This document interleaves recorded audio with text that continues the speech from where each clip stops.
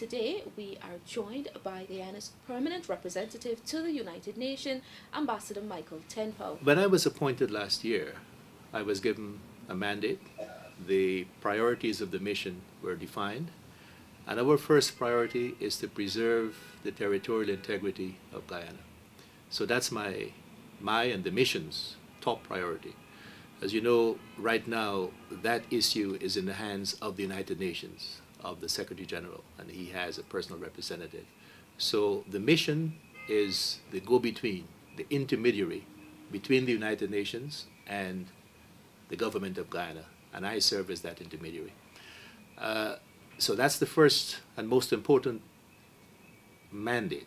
Without a country, all the other issues we deal with, sustainable development goals, development and so on, would not be possible.